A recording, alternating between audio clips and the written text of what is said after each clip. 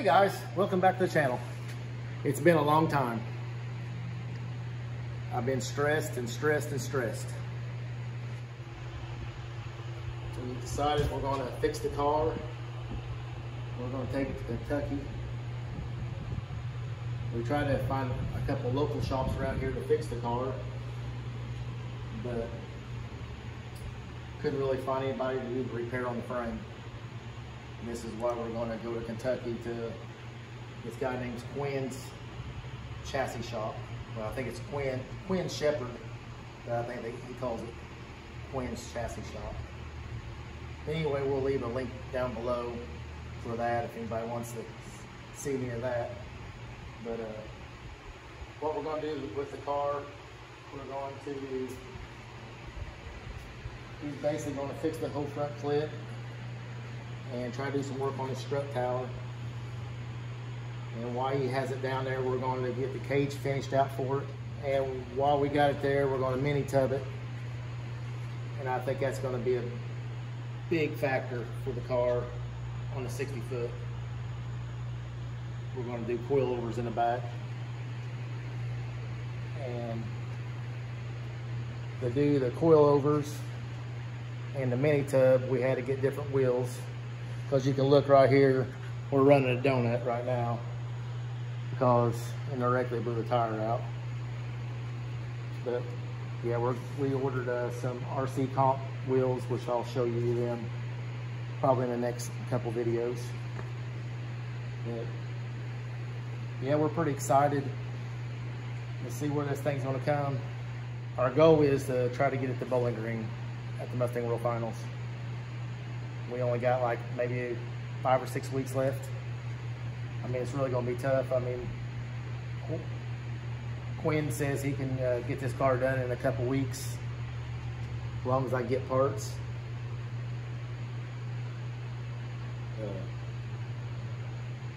but yeah, we're all excited. Another thing, we're going to video the whole car on the build. I want you guys, I mean, if you guys want to stay tuned with the build, uh, we are going to go to, we are going to rebuild the whole car.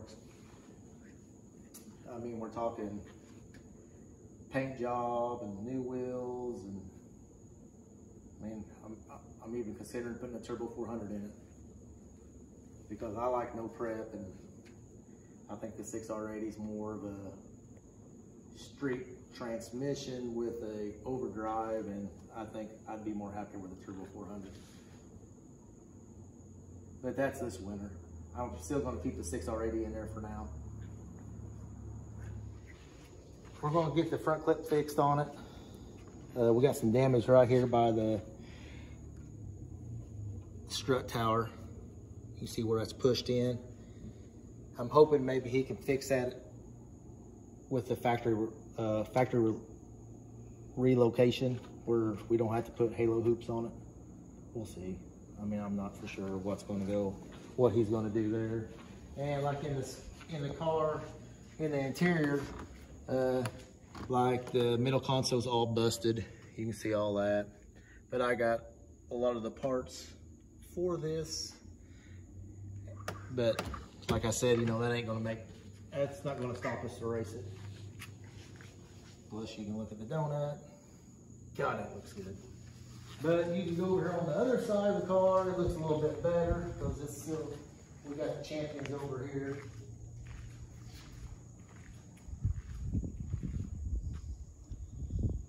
But yeah, we're all excited. We're going to rebuild this baby.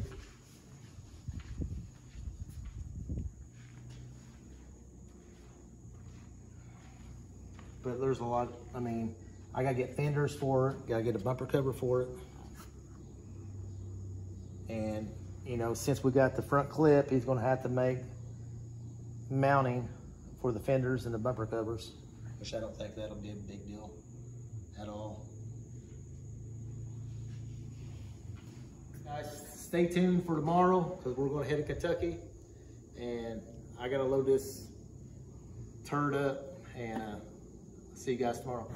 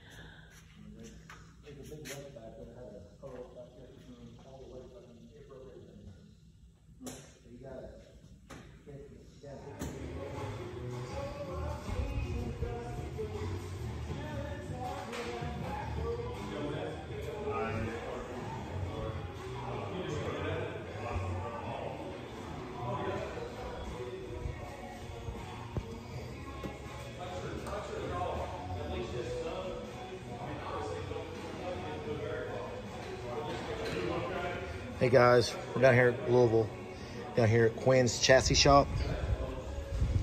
Yeah, he's doing a hell of a job on this car. He's got it gutted out. We're doing mini tubs. We're gonna finish out the cage. He's got the front end about done on it.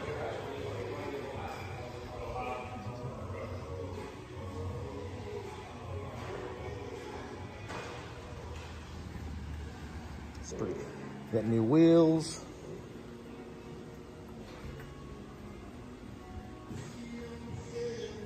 We got two weeks before Bowling Green. We might make it.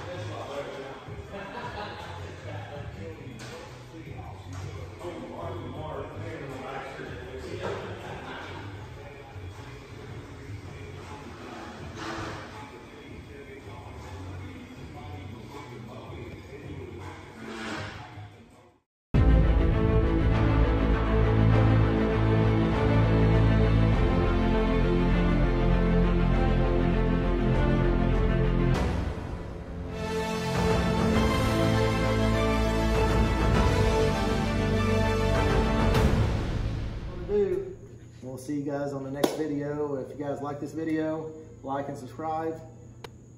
And uh, see you next time. Thanks.